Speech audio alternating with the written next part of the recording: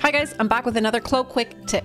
If you're working on a really large screen, your icons might be teeny tiny in Clo, so you want to make them bigger. Or if you're working on a really small screen and the icons are taking up too much of your space, this tip is for you.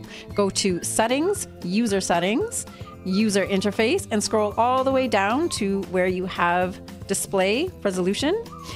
If you're working on a teeny tiny screen, you might want to use the small 4K resolution. You have to restart your program for this, select OK, close, reopen, and now your icons are much smaller. If you have the opposite problem and your screen is really big and you want your icons to be bigger, go back to Settings, User Settings, User Interface, scroll down to the bottom, and select Large. Select OK to apply the changes, close, reopen Clo, and your icons will now be much bigger. And if you are somewhere in the middle, go back to user settings, user interface, scroll down to the bottom and select medium, which is usually how I leave it. Select OK, close, close, close again, restart the program, and this is what it will look like by default. And I'll leave you with one bonus tip. I'll just open a file to give an example. If in your 2D window, your font is teeny tiny and you want to adjust the size of those numbers, go to settings, user settings, user interface, scroll down until you find font size right here. You can either make them bigger, up to 20, or smaller, depending on your preference. So there you go. Those are my tips for the day. Hopefully you learned something. Hopefully it's useful. I'll catch you later. Bye.